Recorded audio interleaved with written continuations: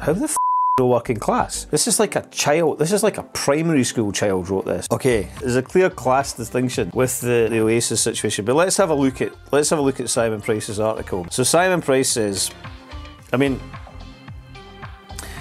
this is Simon Price. Now, I, like I said the other day, like I do not really like judging people on how they look, so I'm, I couldn't, I will definitely not have any comment to make about Simon Simon Price. He actually looks alright. He, he, appears to have some kind of antennae, so maybe he's receiving and transmitting somewhere. There. I don't know what's going on with that. Anyway, he says, "Stop the celebrations. Oasis are the most damaging pop cultural force in re recent British history. Dismal lyrics." Plodding tunes, and prehistoric political views. Why is everyone so happy that the Gallagher brothers are back? How long is the article just to see? It looks manageable.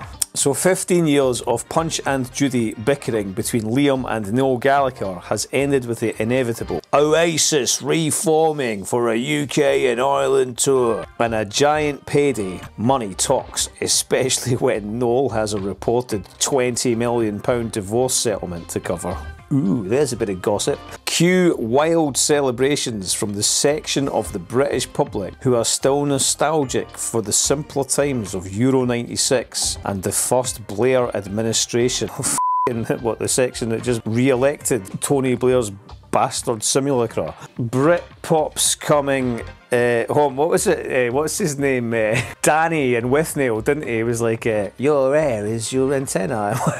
Think that's maybe that's what Simon Price is giving it. I'm not among them, and here's why.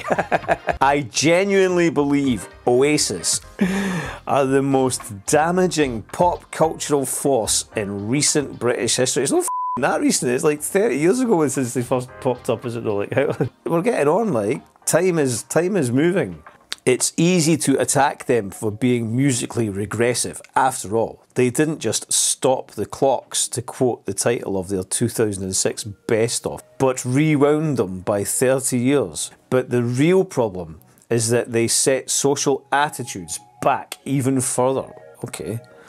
I'll never forget being present at the Q Awards. And this is just, oh, we know you never forget being present at the Q Awards because you probably tell everyone at every boring dinner party you ever go to, like, you know? When Liam Gallagher repeatedly heckled Robbie Williams with queer and Kylie Minogue with lesbian as the assembled music business and media tittered nervously, reluctant to kill the goose that laid the golden egg. It's one of the ugliest scenes I've ever witnessed.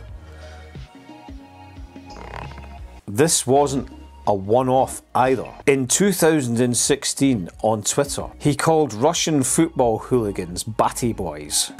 and in 2018 used another homophobic slur, bum chums, against Noel, Johnny Marr and Paul Weller.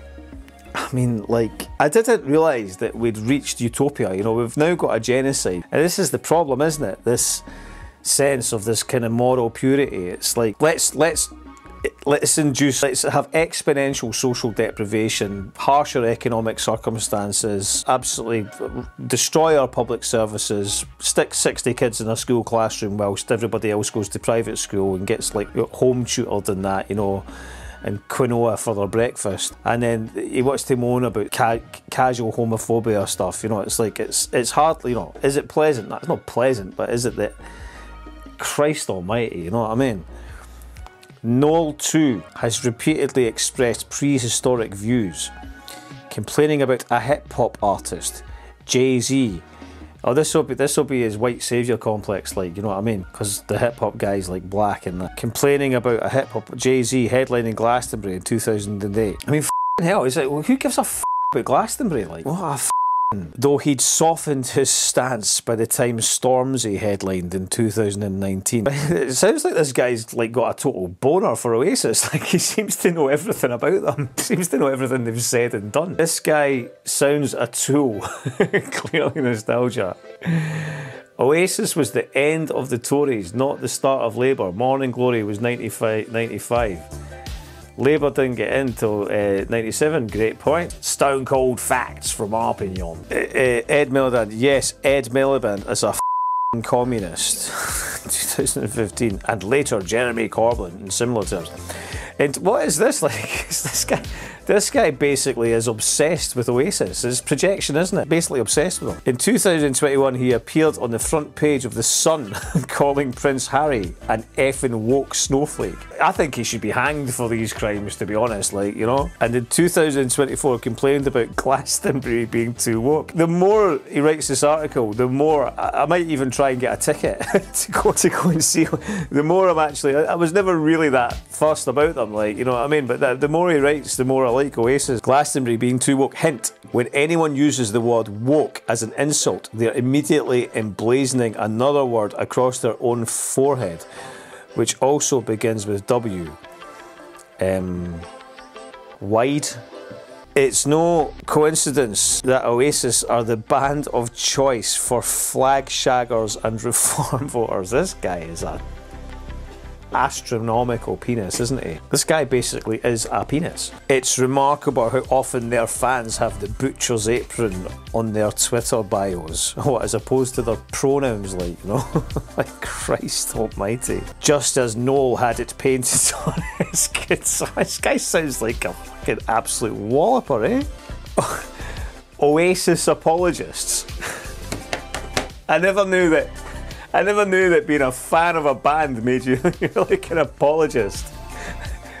I think we, I think we all hate that guy.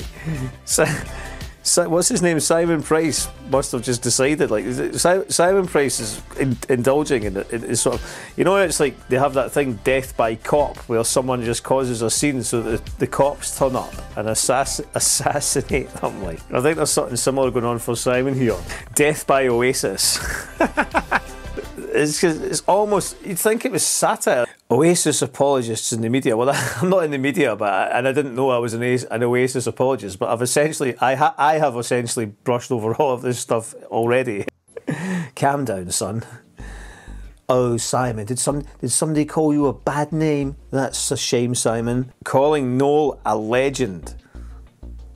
Simon's a shit failed musician, isn't he? It's clear. Simon's a failed musician. He's, he made some esoteric ambient sound music, like some sort of like noise core or something.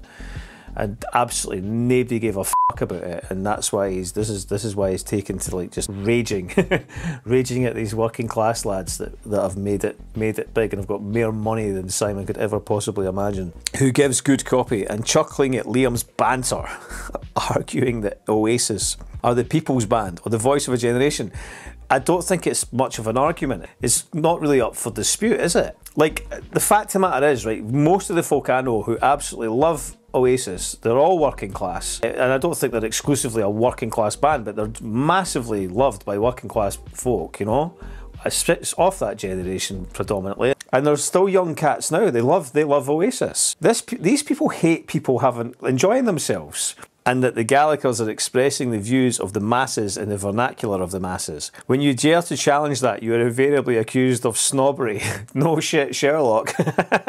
Against a band who have been dubiously anointed as the sole authentic musical mouthpiece of the proletariat. No, what these people can't stand, they only want they want to define the proletariat on their terms. You see, this because this is total vampire castle chat. This is bourgeois liberal post-identitarian politics, well, identitarian politics expression of that, and it's like they they hate the working classes, and the only time they ever want to have the working classes discussed is on their terms. They get to decide what the working classes are and aren't. And you'll see examples of this. I've got there's loads of examples of this over the past few days. There's some guitar guy in Glasgow. Somebody kept sending me his tweets. He's blocked me, but he's called them. Um, I'd have to check uh, Robert someday, and he's another one that was going um, disputing their disputing the fact that they're working class. Basically, going like, "Oh come on, they're not working. They're not actually like that's the vibe." It's like, how the working class. Why they don't even they don't even want to. It's like they hate them, but they didn't. They want to deny them. They even they want to deny them the working class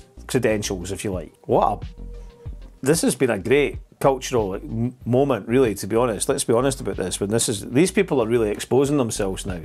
They can feel their woke sort of castle just crumbling around about them. It's kind of like at the end of Journey to the Centre of the Earth, you know, when like the it all starts crumbling and they have to get out. It's like the temple starts falling down. You know, it was like Sinbad or something. One of these one of these films. It's like that. It's all collapsing around about them, isn't it? Their their their, their pronoun fortresses are just tumbling at the ground. But the Gallaghers can't outflank me on class. Is that right, Simon? we're, getting into delusion territory now.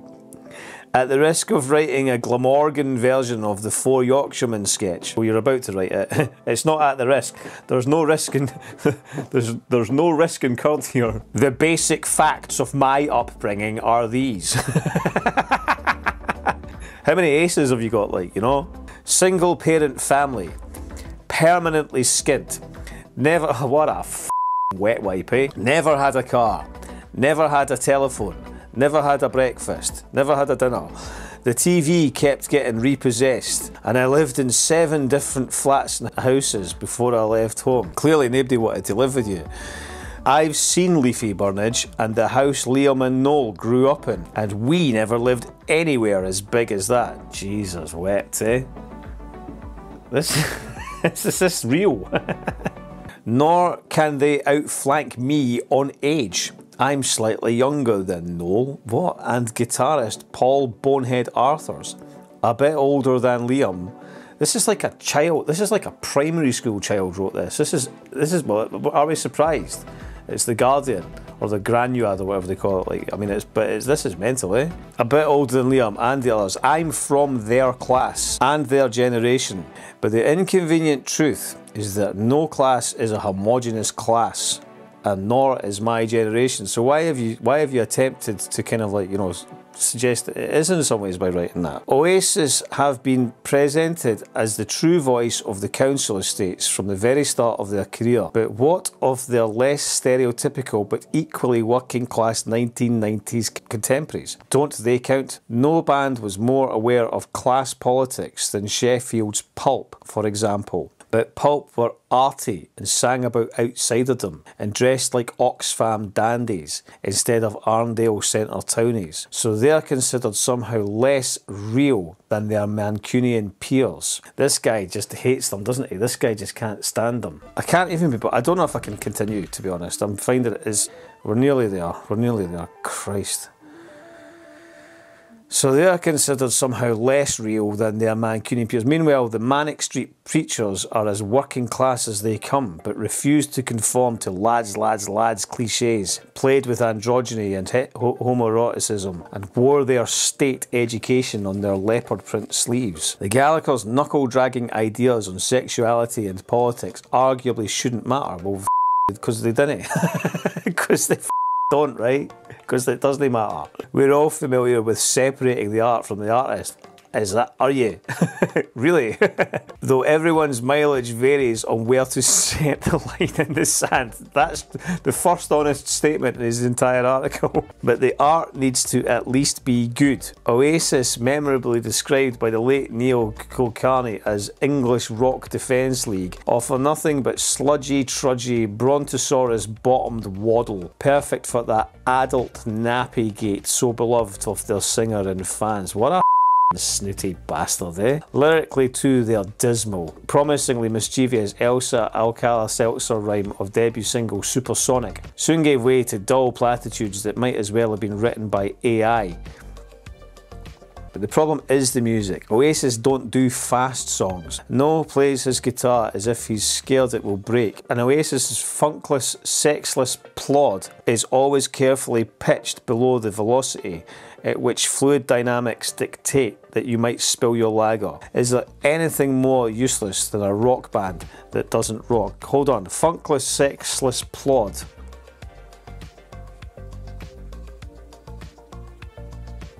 If I had to describe an image that made me think of funkless, funkless, sexless plod,